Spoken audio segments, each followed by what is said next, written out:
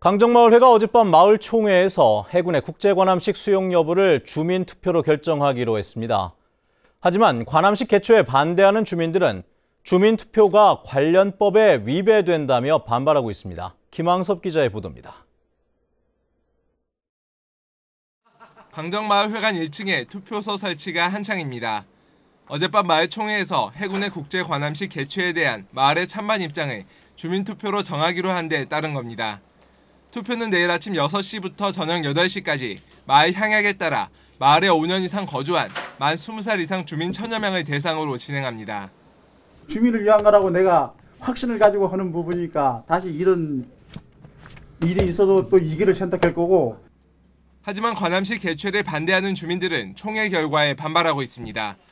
이미 3월에 마을 총회에서 관함식 개최 수용을 반대하기로 결론낸 사안을 다시 총회를 소집해 논의한 데다 주민투표법에도 위반된다는 겁니다.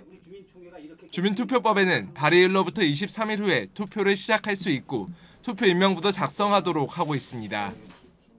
총회 끝나서 이틀 만에 주민 투표하는 거는 이거는 지금도 현재도 몰라.